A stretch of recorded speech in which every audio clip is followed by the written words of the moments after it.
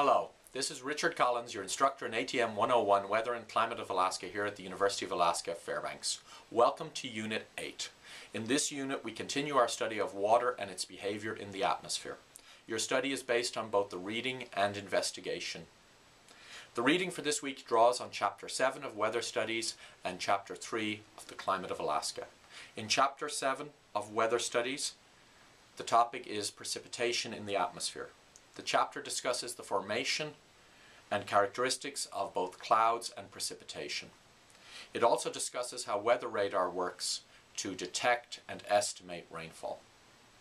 The subject of Chapter 3 is precipitation in Alaska and how it varies with season and region. In the investigation this week we conduct our most ambitious field experiment and go outside to study snow. The snow investigation can be a lot of fun if you stay warm and dry. If you get cold and wet, it can be miserable. Please plan ahead before you go outdoors. You may decide to enlist a family member or friend as a field assistant. In the lecture screencast for this week, I highlight the key themes of the unit. You should watch it before you jump into the reading. The lecture also highlights the concepts that are important for the quiz. If you have any questions, don't hesitate to contact me or the teaching assistant. Thank you and good luck.